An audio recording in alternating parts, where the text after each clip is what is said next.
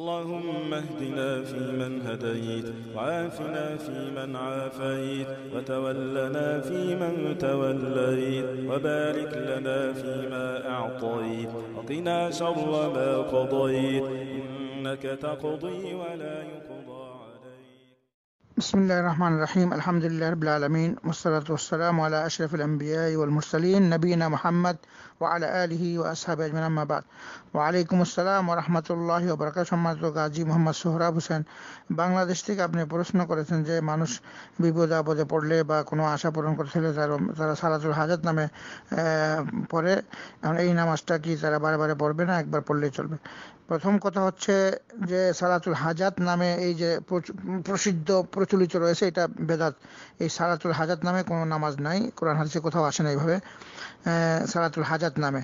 এই জিনিসটা বুঝতে পারে সালাতুল হাজাত মানে হাজাত পূর্ণ হওয়ার নামাজ, এই ধরনের কোনো, এইভাবে কোনো হাদিসে আসে নাই। কিন্তু পবিত্র কোরআনে আল্লাহ রাব্বুল আলমিন সুরা বাকার একশো তিপ্পান্ন নম্বর আয়াত এবং পাঁচচল্লিশ নম্বর আয়াত, সুরা বাকার পাঁচচল্লিশ নম্বর আয়াতে বলেছেন আউদ্বিল্লাহ মিনা শৈতান রাজিম ওয়াস্তাইনু বিসাবরি ওয়াসালাহ হে সমস্ত মুসলমানরা, তোমরা কি করো? ধৈর্যের মাধ্যমে এবং সালাতের মাধ্যমে আল্লাহর নিকট সাহায্য চাও।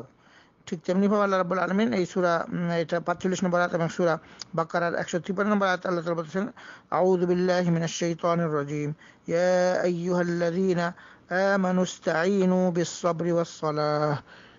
ইন্নাল্লাহা মা'আস সাবিরিন। এখানে আল্লাহ বলতেছেন, হে মুমিনগণ, ধৈর্য ও সালাতের মাধ্যমে সাহায্য প্রার্থনা করো। নিশ্চয়ই আল্লাহ ধৈর্যশীলদের সঙ্গে আছেন। তো কাজে এখানে আছে যে মানুষ যখন বিপদ আবাদে পড়বে বা কোনো আশা, আকাঙ্ক্ষা পূরণ করতে চায়, অবশ্যই সে এখানে আল্লাহ তালা বলতেছেন, তোমরা নামাজ পড়ো। নামাজ পড়ো এবং নামাজ এবং ধৈর্য দুইটা জিনিস একত্রিত, শুধু নামাজ পড়লে হবে না, নামাজের পর ধৈর্য এবং প্রথমে এখানে আল্লাহ রাবুল আলমী বলেছে ধৈর্য এবং সালাদ তো আগে সবর করতে হবে, বিপদ আসলে বা আশা না পূরণ হলে মানুষ ধৈর্য, ধৈর্যের মাধ্যমে ধৈর্য করাটা একটা অনেক বড় ইবাদত।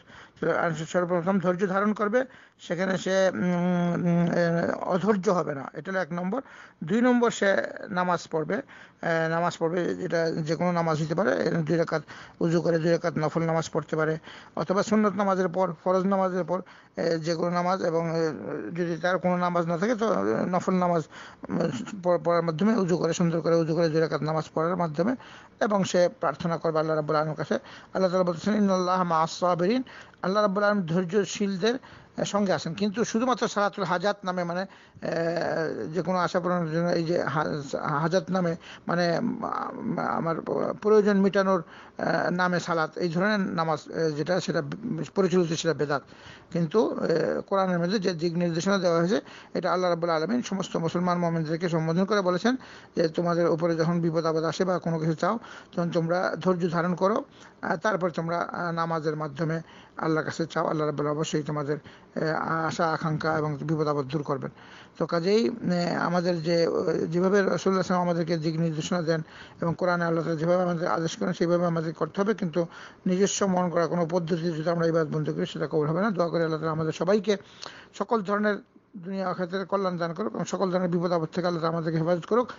আর আমাদের উপরে যে সমস্ত বিপদ আপদ আসলে আমরা ইনশাআল্লাহ আল্লাহ রাবুল আলমিনের আদেশ অনুযায়ী, রসুল ইসলামের আদর্শ অনুযায়ী রসুল্লাহ সাল্লামও যখন নাকি কোনো বিপদে পড়তেন, তো উনিও উজু করতেন এবং এই ধৈর্য ধারণ করতেন এবং নামাজ পরে আল্লাহর কাছে প্রার্থনা করতেন। তো আমরা ঠিক সেইভাবেই ধৈর্য ধারণ করব আল্লাহর আল্লাহ সন্তুষ্টি অর্জনের জন্য এবং আমরা অধৈর্য হব না।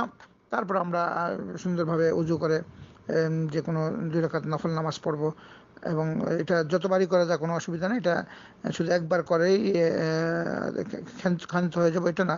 আমাদেরকে যতবারই আমরা নামাজ পড়ব, ততবারই এটা আমরা আল্লাহর নিকট সব পাবো এবং যত বেশি করে আল্লাহর কাছে প্রার্থনা করা যায়, নামাজ পড়া যায়, নফল ইবাদত সেখানে সবটাই আল্লাহর কাছে গ্রহণযোগ্য এবং আল্লাহ তারা ভালোবাসেন।